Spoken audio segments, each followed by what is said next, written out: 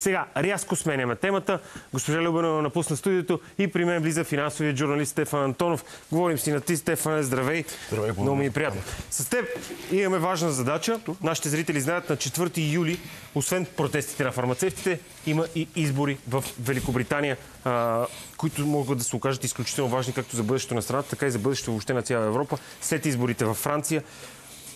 Стефан Антонов е финансов журналист. Избрахме да направим тази тема от гледна точка на економиката, защото е, повечето анализатори, особено в Великобритания, твърдят, че изборите ще бъдат спечелени от този, който предложи по-добър економически план на гражданите на Великобритания. Стефан, е така ли е? Така би трябвало да бъде. В Англия е показала една склонност да не взима най-рационалните решения в последните десетилетия. Там има много силно класово разделение и по някаква причина консервативната партия печели изборите в последните 14 години, въпреки че политиките и масово се определят като катастрофални. Този път обаче Дебата най-накрая се върна към економиката, към економическите мерки. Кризата е много сериозна и решение се търси, така че този път може би ще спре да се залага на на пристрастията, които се формират, ще се гледа към решенията. Какво означава кризата е много сериозно? Дай да дадем малко числа. Преди време ти написа един изключителен материал за състоянието на економиката на Великобритания, въобще на хората, отделните хора, на най-низко платените а, граждани на, на Обединеното кралство. Имаше шокиращи числа за мен. Нека да ги повторим. Да, над 10% живеят в бедност. Близо 7 милиона души са в списъците за чакане да получат медицинска грижа. А, говорим за хора, които искат да бъдат диагностицирани и да започнат тяхното лечение. Хора, които са влезли вече в клиничните пътеки. В същото време, недосилът на медицински сестри и медицинска инфраструктура води до там, че прегледи и лечения се провеждат в болнични коридори, включително и на паркинги. Да означава това, че а, има 5 милиона души, които живеят в това или да няма достатъчно пари, или да няма достатъчно храна, или да са карали е, зимата без отопление. Означава, че, е, означава, че мисля, че 7 милиона домакинства също така е, са изкарали зимата без без да имат отопление. До, до там се стига, че дори в магазините за търговия на дребно. Едни маратонки се продават в най-крайния вариант а, на лизинг от 30%, когато вноските са повече от 6, т.е. маратонки за, за 30 паунда, което са 70 лева, може да се продадат на изплащане за 6 месеца с лизинг 30%. Тоест, това, това показва едно обедняване, което, а, което общо взето трудно можем да си го представим, че може да се случи на такава богата държава. Каква е ролята на Брекзит, особено след 2016 година и защо според теб хората масово продължават да гласуват за консервативната партия, при положение, че тя има очевидна идеологическа постановка за нея. Разбира се, че а, ще се опита да работи през данъчна политика по един а, вече известен на всички нас начин.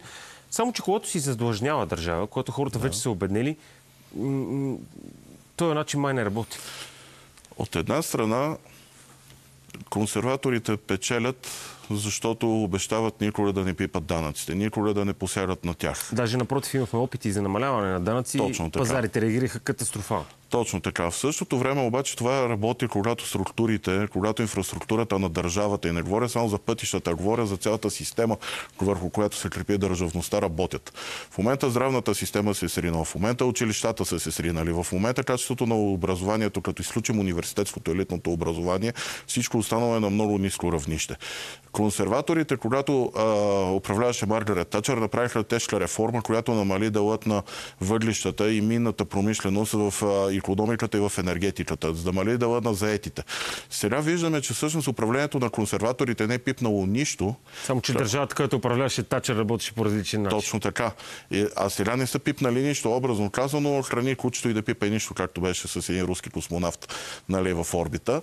Е, те се държат точно по този начин. А, а, а се налага да има решения. И от една страна, както в последния дебат Реши Сунак казваше, наша е работата да пазим системата, докато дойде оживлението. Обратно, Кир Старбър, който е лидер на лейбаристите, той обещава да се намат 8000 души в здравната система, обещава да има, да има места за безплатна закуска на децата в училищата, обещава, някак, обещава да има мерки, които в крайна сметка да върнат доверието на хората. Че Добре, да, обещанията на лейбаристите са класическо да. по-вляво харч на държавата, може да стимулира економиката.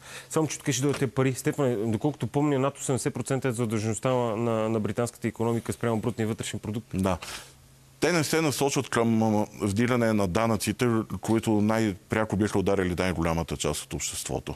Те се насочват към общият пакет от мерки е 10 милиарда паунда, като той се разпределя на милиард и половина вътрешни економии, преструктуриране на разходи, т.е. нещо да бъде изоставено за да се финансира и 8 милиарда и половина от а, допълнителни приходи, които се разчита да бъдат събрани от а, това, което, например, не се случи в, се случи в България. Свръхпечалбите на енергийния сектор.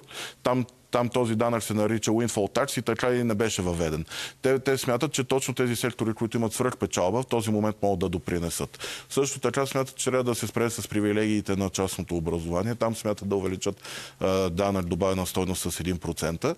И в крайна сметка целта, без да оправдавам диране на данъци е, или или или бездействие, в крайна сметка те имат много ясен план, че като получат едни средства, с тях какво ще направят. А да се върне доверието, че в тази държава има кой да те лекува, в тази държава има кой да те, да те учи, кой да изучи следващото поколение.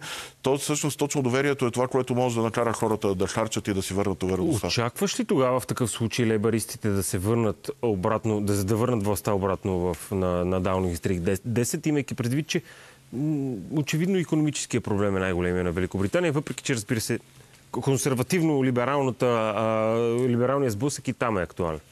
Да, очакванията на всички са, че лейбаристите ще спечелят тези избори. Умекнаха ли, извиняй, умекнаха ли лейбаристите от, от последният им лидер Корбин, който беше откровен комунист? Как да, така е. Да. Е, вижте, Джереми Корбин беше няма да го нарека недоразумение, но по-скоро огромно изключение. След като целият свят се разбра, че левицата също признава пазарното начало и свободата на частната инициатива, Джереми Корбин си остана с неговите марксистски убеждения, но това доведе до краха на лейбаристите през 2018 година. Те просто отблъснаха дори и твърдят си електорат. Това нещо при Кер Стармар го няма. Въпросът е, въпросът е дали лейбаристите, така както са в момента, ще намерят наистина онази, как да го кажа, енергия да докарат промените до край. Защото те са ясни какви са проблемите, но ще трябва да минат, минат през законодателни промени. Както казах, ще трябва да има, пре, ще има съпротива срещу това някои е, видове данъци да се въведат. Ще има съпротива най-вероятно срещу реформи в публичния сектор, но те трябва да издържат, че имат мандат, и трябва да си го изкарат успешно. За първи път от много години идва на власт, се очаква на власт да дойде нова политическа сила, която се изправя срещу ясно дефиниран проблем, с план да го реши. Не намираш ли за изключително ирония факта, че економически проблем в Великобритания е избори? Ще има смяна на системата. Лейбаристите най-вероятно ще дойдат на власт, ще, ще, предложат своите по-скоро леви економически политики. Франция също има економически проблем. Франция също гражданите обедняват, но те гласуваха за, за, за десния си кандидат. Въпреки левите мерки на Макрон. Аз мисля, че във Франция проблемът преди економически е с въобще с това как обществото иска да функционира и как се вижда и на къде върви. Те не са, френското общество не е съгласно с това, което се случва като организация на обществото, с толкова много насвачени проблеми в, в неговата структура. А економиката тук очевидно е отишла на втори план. Нарочно те бутнах към тази тема, за да кажем накрая, за да те попитам за последния въпрос разбраха ли британците, за разлика от цяла друга Европа, която води идеологически битки, консервативно, либерално, въобще начинът по който искам да функционира в обществото ни, разбраха ли британците, че Брекзит съсипа економиката им или помогна сипване на економиката им, те имат нужда да справят този първичен проблем преди да отидат да се бият за идеология? Много благодаря за този въпрос. Аз исках да го спомена, но забравях. Всъщност, анализ на Goldman Sachs показва, че Англия е загубила 5% от брутния си вътрешен продукт, такъв какъвто би могъл да бъде, ако Брексит не се беше случил. Ние сме държава България, която за да догонва трябва да расте с 3%. Англия е, може да бъде като голяма економика, може да бъде щастлива, ако расте с процент и половина. Това означава, че те 3-4 години тъпчат на едно място, защото са излезли от Брексит. Това означава, че десетки хиляди фирми са загубили възможността си да изнасят в Европа. Това са загубени доходи, загубени работни места. Те осъзнават грешката си. Бяха подведени, между другото, от пак от консервативната партия, защото кампанията за излизане от Европейския съюз беше базирана върху лъжи и в момента започва да се държи сметка за тези лъжи, бяха подведени. След това се случи много лоша сделка, как самия Брексит да се случи. В момента има абсолютен консенсус, че сделката на Борис Джонсон трябва да бъде предоговорена, така че Англия да се върне към едни по-добри условия за търговия с Европейския съюз, защото всяко друго търговско споразумение, пак по, според доклада на офиса за бюджетна отговорност, това е нещо като нашия фискален съвет, казва, че всеки, всяко друго търговско споразумение, за да сработи, ще му трябва някъде около петилетка. Най-бързият път за разрешаване на проблема е улесняване на международната търговия с Европа. И това ще бъде целта на следващото правителство, нямам никакво съмнение. Добре, много ти благодаря. Финансовият журналист Стефан Антонов ни беше на гости. Говорихме си за предстоящите избори в Великобритания на 4 юли. Фокусирахме се върху економиката и финансите, защото е очевидно, че Обединеното кралство страда от тежки економически проблеми. Чухте какво каза Стефан. Това казват и повечето експерти. Очаква се Либералната партия да поеме властта след дълго 14 годишно, доколкото помня, властване на консервативната партия. Предстои да разберем какво ще се случи. Продължаваме да следим темата, защото Великобритания има изключително висок и тежък център, който ще влияе върху цяла Европа.